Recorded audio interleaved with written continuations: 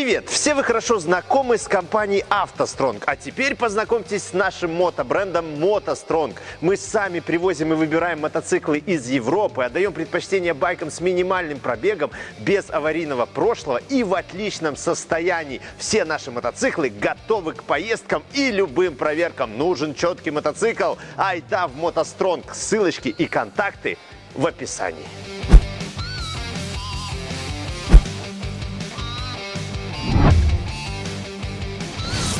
Ну а сегодня мы разберем первый оппозитный турбодизельный двигатель от Subaru. Итак, встречаем!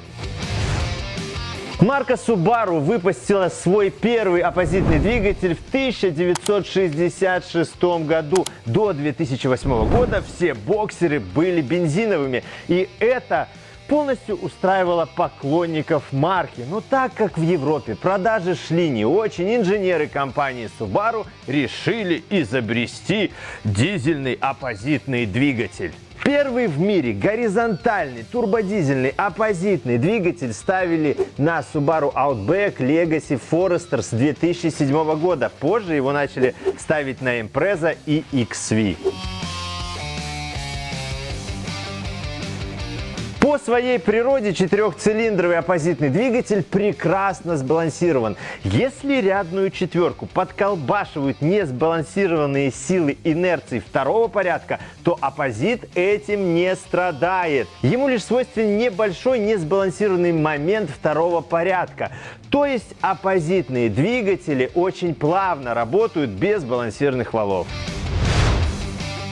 Оппозитная дизельная четверка получилась компактнее своего бензинового собрата. У дизельного длина блока 35 сантиметров, а у бензинового 42 сантиметра. Это получилось за счет уменьшения межцилиндровых расстояний, а также за счет уменьшения диаметра цилиндров. Ход поршней по сравнению с бензиновым двигателем был увеличен. Вообще, Геометрия цилиндра поршневой группы у этого двигателя оптимальная. Это квадратный мотор.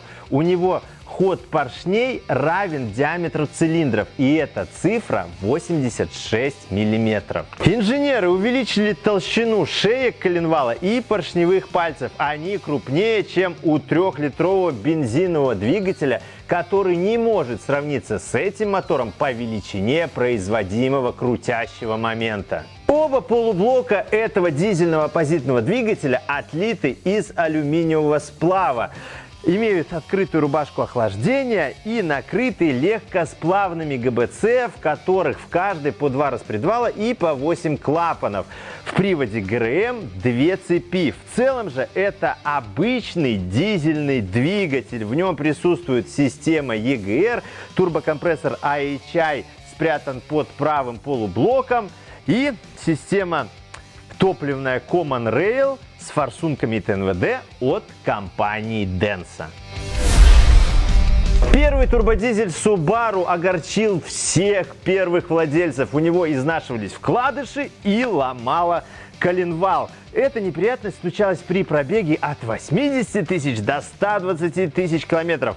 Пострадавшие двигатели компания Subaru меняла по гарантии. Но это счастье коснулось лишь тех владельцев, которые эксплуатировали этот двигатель и автомобиль на официальных рынках. То есть импортированные из Европы в СНГ Subaru с дизельными моторами, которые заклинивало, это была головная боль местных владельцев. Мало того, что им надо было найти еще хороший контрактный мотор, так этот мотор должен был быть выпущен с 2011 года. Кроме того, японские двигатели имеют проблему с сажевым фильтром. Он засоряется при городской эксплуатации и требует прожига, что не всегда происходит успешно. Была, наверное, и есть ошибка в программном обеспечении, которая заключается в том, что прожиг сажевого фильтра происходит максимум 12,5 минут. И вероятность неудачного прожига очень велика. После двух неудачных прожигов Subaru фиксирует ошибку по сажевому фильтру. Частые прожиги сажевого фильтра приводили к просачиванию дистоплива в моторное масло. Напомним, что для прожига сажевого фильтра топливо подается в цилиндры на тактах выпуска. Затем Топливо разогревает до 650 градусов и прожигает сажевый фильтр. Было немало случаев увеличения уровня жидкости в поддоне, а это очень критично для оппозитного двигателя, потому что поршни двигаются в горизонтальной плоскости. Для того, чтобы прожиг сажевого фильтра происходил в щадящем режиме, надо хотя бы раз в неделю совершать 40-минутную поездку на скорости 100 км в час. Понятно, что с таким товарищем в автомобиле избавляются просто. Его отшивают программно и вырезают физически, также удаляют систему EGR. И после этого Двигатель дизельный Subaru становится пригодным для городской эксплуатации, а также избавляется от проблемы загрязнения выпускного коллектора сажей и маслом. Но это происходит в ущерб экологичности и в ущерб нормальной эксплуатации. Удаление EGR и сажевого фильтра подразумевает установку в блок управления неоригинальной прошивки, а практика показывает, что нормальных неоригинальных прошивок нет. Сегодня много предложений по химической промывке сажевых фильтров. Ей можно воспользоваться, когда сажевый фильтр загрязнен и уже неэффективно прожигается. Примерно раз в 50-100 тысяч километров. Ну а сегодня в разборе этого эксклюзивного экземпляра нам поможет Артем. Встречаем! И мы начинаем нашу разборочку.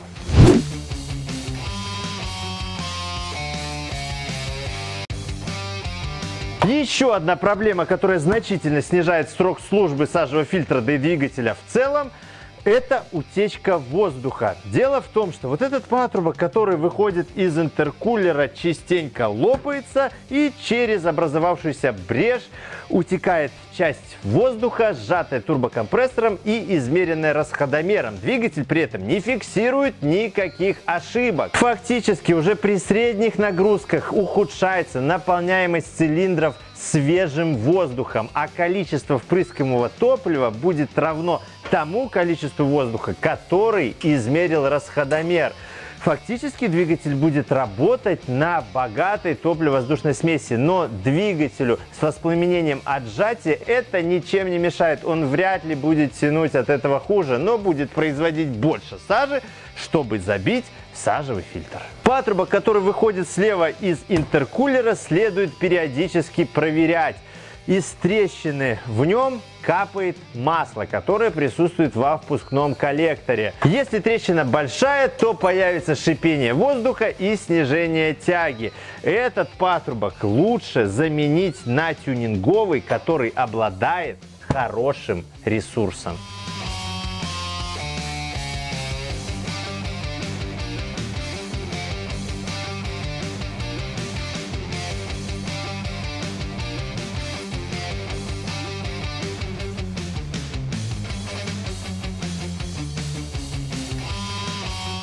Замене ремня навесного оборудования стоит потратиться на замену обгонной муфты шкива генератора. Износ обгонной муфты провоцирует ускоренный износ ручейкового ремня. Эту проблему лучше решить превентивно. Служит она примерно 120 тысяч километров. Специалисты советуют не экономить и устанавливать только оригинальный масляный фильтр, либо же качественные аналоги. Замечено, что у дешевых масляных фильтров есть проблема с проходимостью, а это негативно влияет на давление в системе смазки. В дизельной Subaru надо заливать масло вязкостью 0В30, желательно с присадкой для сажевого фильтра. Менять масло надо каждые 10 тысяч километров. Заметим, что в инструкции для дизельных двигателей Subaru Subaru описана процедура сброса интервалы замены масла. Сбросить интервал замены можно дилерским сканером или по процедуре, которая описана в инструкции.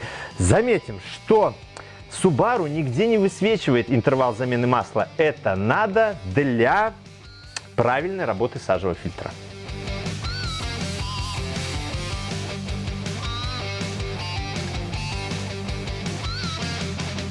На первые версии турбодизелей Subaru устанавливали вот эти турбокомпрессоры IHI RH-V4. Двигатели были под Евро-4, а вот двигатели под Евро-5 и Евро-6 оснащались турбокомпрессором Mitsubishi TD04L. Оба турбокомпрессора с изменяемой геометрией, которая управляется вакуумным актуатором. Вот эти первые версии турбин IHI не успели выходить из строя, потому что двигатели массово поехали на замену. И, как правило, при замене блока меняли еще и турбокомпрессор. Вообще факторов, которые влияют на износ турбокомпрессоров, немало. Это и топливо в моторном масле, которым смазывается вал турбины. Также это забитый сажевый фильтр и связанное с этим противодавление выпуска выпускном тракте. Таким образом, можно констатировать, что износ турбокомпрессора – это совокупность внешних факторов. Но при езде по трассам и удачных прожигах сажевого фильтра эти факторы сходят на нет. А вообще на данный момент турбокомпрессоры на дизельных двигателях Subaru практически нареканий никаких не вызывают.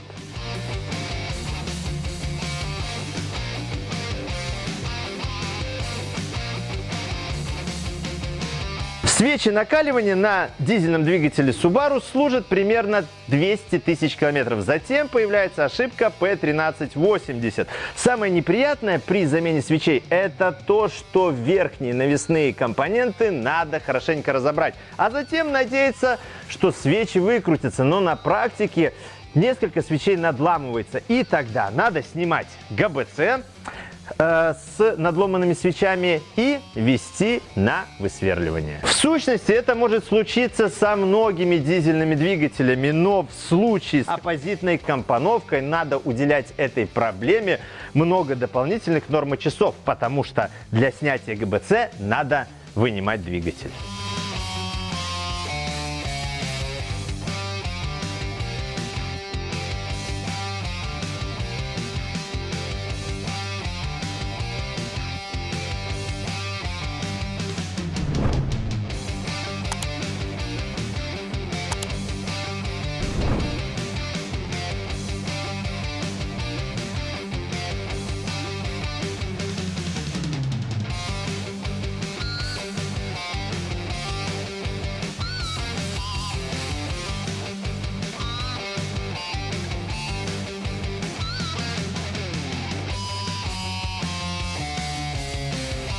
Кожух ГРМ по традиции Subaru крепится на огромное количество болтов. В данном случае 39. Маленькие, как вы видели, выкручивались очень плохо, то есть они одноразовые. Еще одна любопытная деталь этого двигателя – дополнительный маслонасос, который прокачивает масло в картридж турбины, потому что самотеком оно оттуда не вытечет цепями на турбодизельном Subaru нет никаких проблем вообще. Они не растягиваются и ходят по 400 тысяч километров. Сверху на блоке цилиндров находится топливная система, насос, рампа и топливопроводы к форсункам.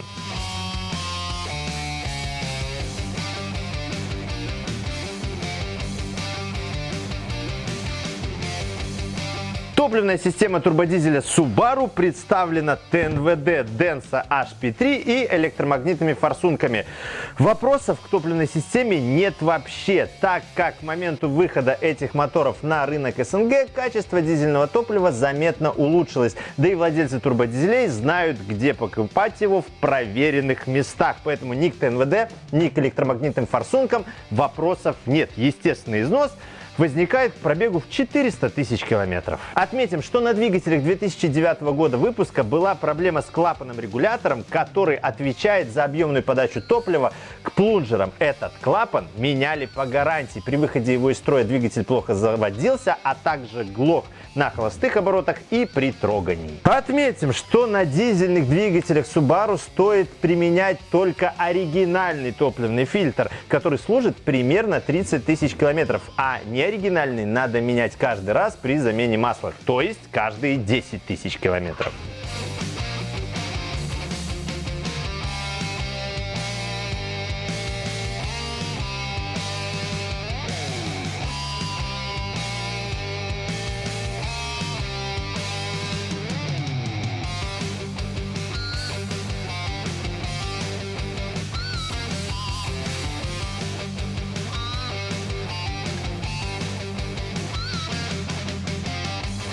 Настало время объяснить, что этот мотор у нас в мощном клину. Здесь цепь была натянута как струна. Сейчас доразберем и точно узнаем причину.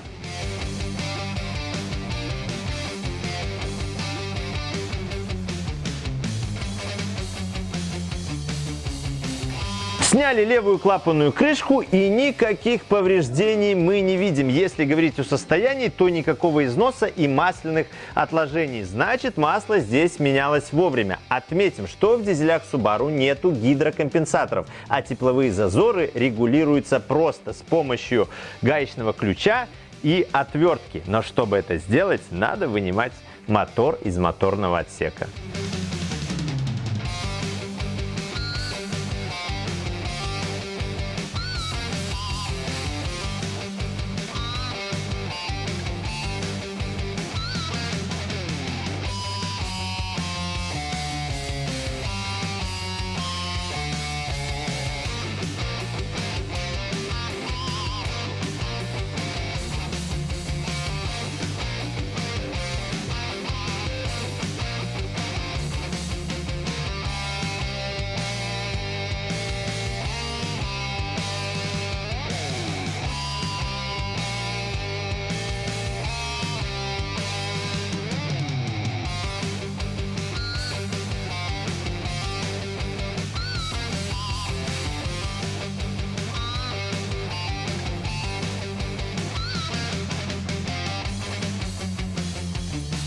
Форсунки на этом двигателе, разумеется, установлены на огнеупорные шайбы, которые прогорают со временем. Менять их лучше превентивно каждые 100 тысяч километров.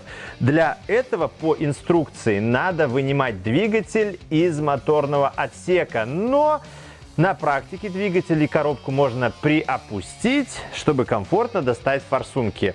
В нашем случае одна огнеупорная шайба прогорела.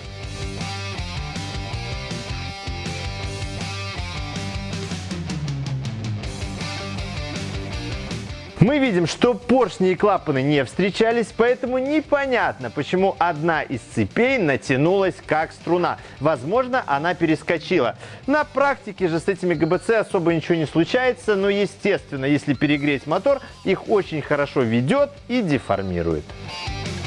Сейчас многие будут негодовать и подпрыгивать. Блок алюминиевый, открытая рубашка охлаждения и чугунные гильзы. На практике же с этой конструкцией ничего плохого не случается. В этом моторе проблема только лишь в коленвале. Об этом мы очень скоро расскажем. А если говорить о состояниях в цилиндрах, все отлично, хон есть.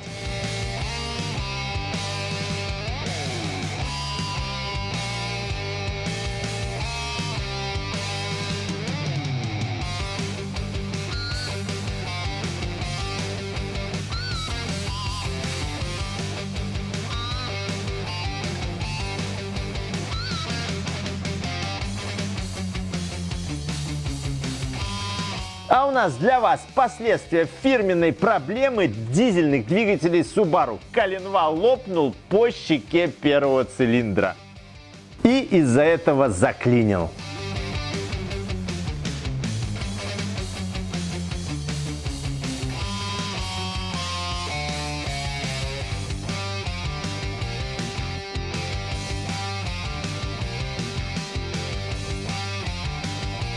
Коленвал заклинил настолько мощно, что даже в таком состоянии он не вращается и не выходит из блока цилиндров. Чтобы разделить половинки блока, надо снять крышки шатунов. Доступ к ним открывается при вращении коленвала. Но так как коленвал у нас не вращается, мы не можем изящно разъединить половинки блока.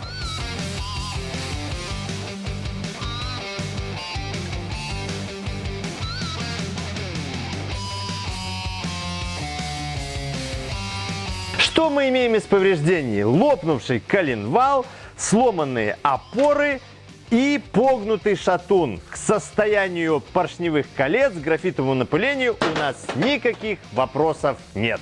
На что мы хотели бы обратить внимание? На вот эту желтую пасту, которая находится на шатунных вкладышах. Эту пасту применяют на этапе сборки ремонтируемого двигателя.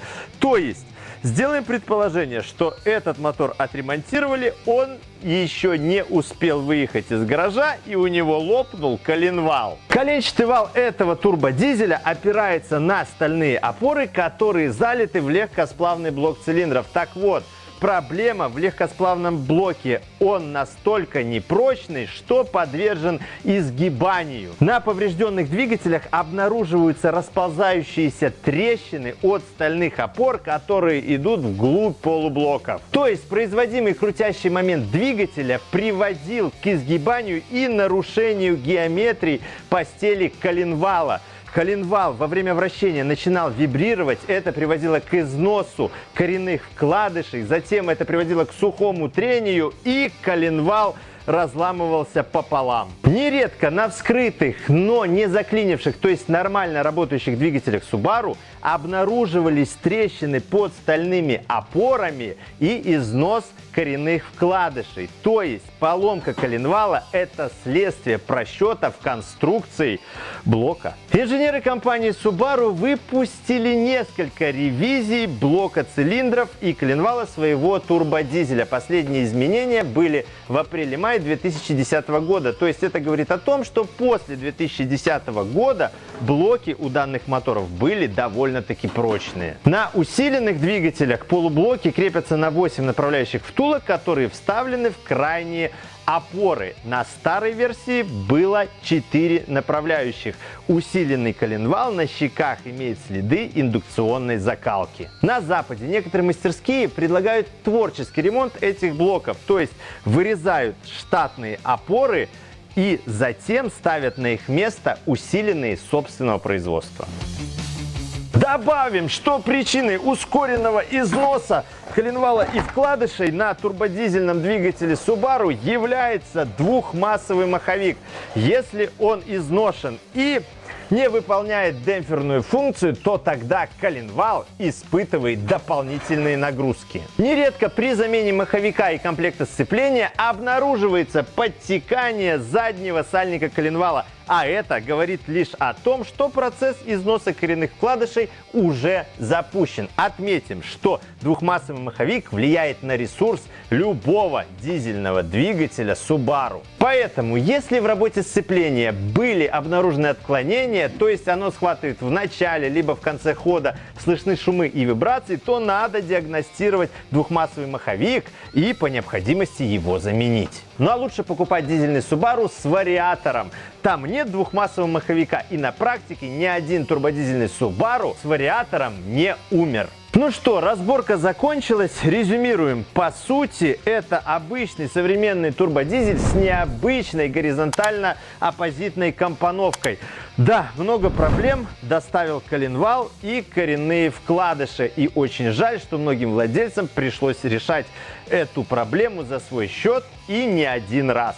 Если вы хотите знать о моторах, коробках и БУ запчастях абсолютно все, обязательно подпишитесь на наш канал, поставьте лайк этому видео, заходите на наши соцсети, заходите на наш сайт, покупайте у нас только отличные запчасти и помните, что с вами всегда была есть и будет компания «АвтоСтронг».